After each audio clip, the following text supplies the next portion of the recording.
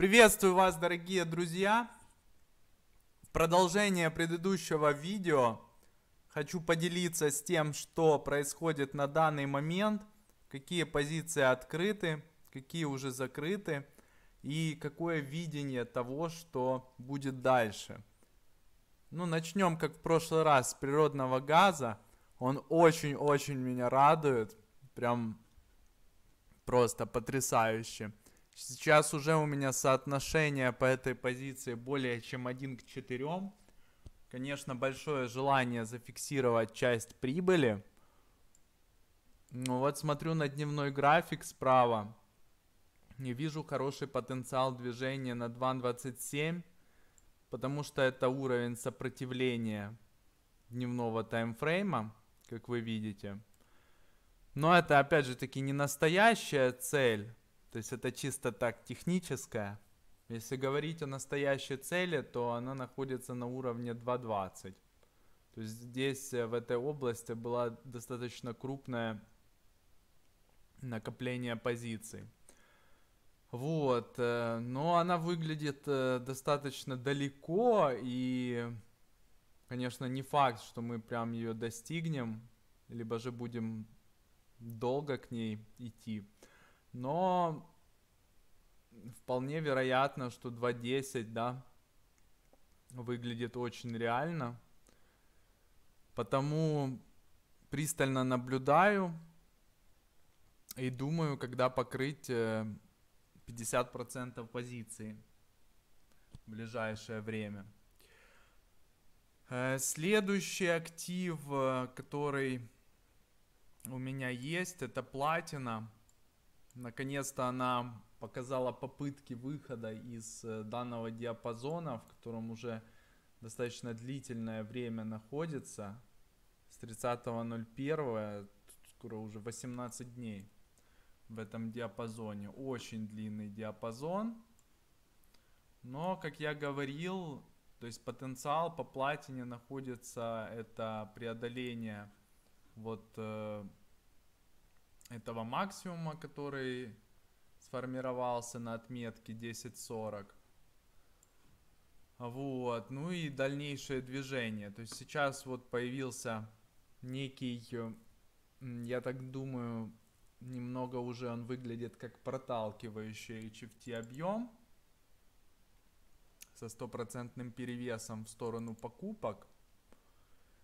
Вот, возможно, он даст импульс для дальнейшего движения к уровню объема апреля 2018 года, то есть 1000 долларов за унцию платины. Потому восходящая тенденция, думаю, продолжится. Так, следующий актив, э, который я давал, это евро. Закрылся я евро по стопу. Действительно, HFT объем не смог остановить данное движение. Ну, точнее, он остановил, потому что цена какое-то время проторговалась в диапазоне. И такой э, сползающий снег, можно сказать, э, формируется для продолжения нисходящей тенденции. Но вот э, когда я смотрю на дневной график, то я вижу, что должен быть отскок. Должна быть коррекция. То есть э, продажи ослабли. Вот. И для того, чтобы даже продолжить данное снижение, должно быть закрытие коротких позиций. То есть, и, соответственно, какая-то коррекция. Ну, конечно, учитывая такое длительное снижение, она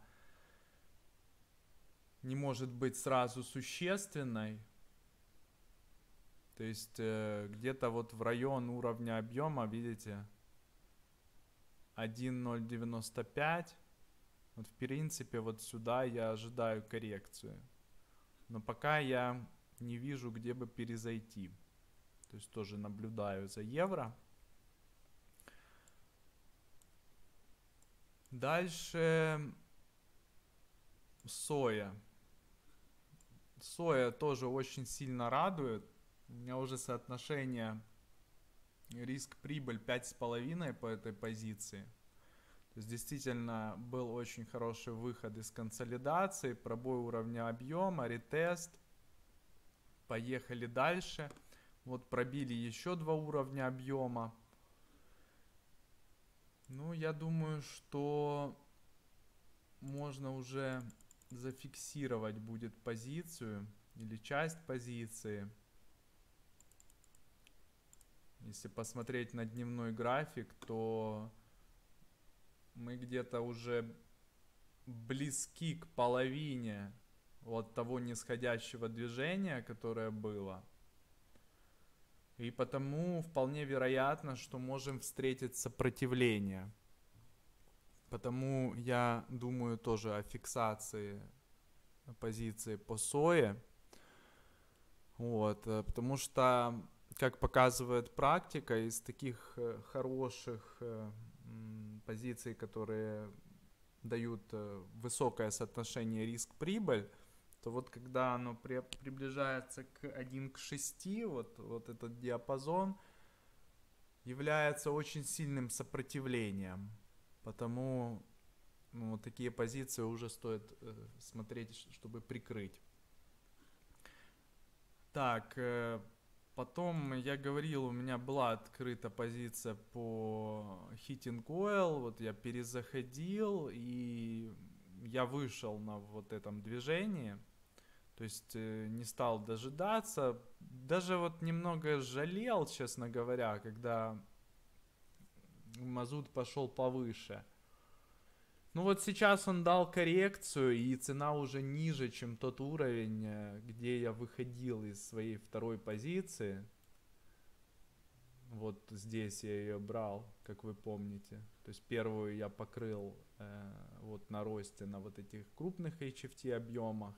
И вот вторую позицию я брал на вот этом HFT объеме и, соответственно, покрыл тоже на, после пробоя максимума. Вот.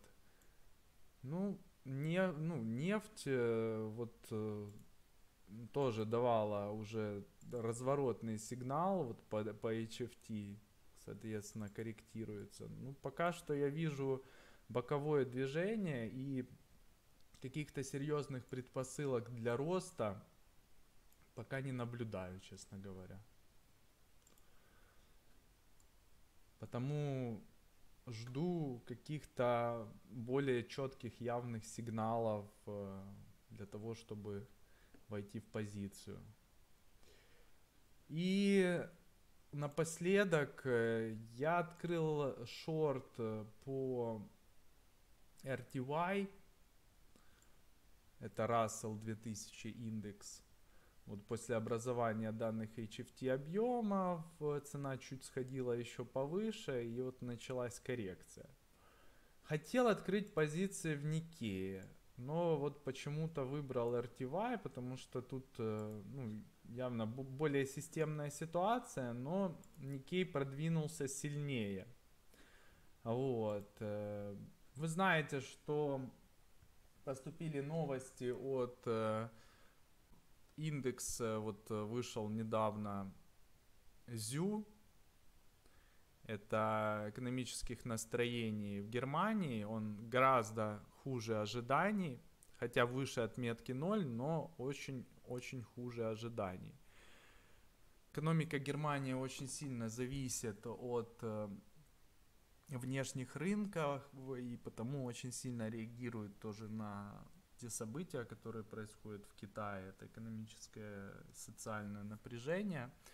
И вот вышла новость от HSBC о том, что они проводят масштабную реструктуризацию, то есть кост-каттинг на 4,5 миллиарда долларов, и при этом они собираются сократить э, очень большое количество персонала. То есть это 35 э, тысяч сотрудников, чтобы вы понимали, да. Вот. Э, особенно это касается подразделений как раз не Азии. Они собираются сократить этих сотрудников в США и в Европе. Представьте, как 35 тысяч людей уволить. Это одна компания. Потому я думаю, что это должно отразиться на рынках, и, в принципе, это отразилось, особенно, вот, видите, да, по NASDAQ было очень ну, такой сильный гэп проливной, вот, кто-то по рынку тут вышел из э, своих позиций, но, как вы видите, негативные новости воспринимаются слабо, да, то есть э, коррекции ну, вообще незначительные, да, тренд продолжается. Но я все-таки склоняюсь больше к нисходящей тенденции, потому вот и открыл позицию. И надеюсь, что будет какая-то коррекция сейчас э, после всех этих негативных новостей, которые выходят на рынке. Такой взгляд у меня на индексы. Ну, а цели, конечно, по индексам там, они, скажем так, дна не видно. Потому что если падать, то можно падать э, очень-очень далеко. Вот. То есть забрались мы очень-очень высоко, как вы видите, да, на дневном графике. Потому падение может быть очень болезненным. Вот такая в целом ситуация. Хорошей всем недели. И на связи. Пока.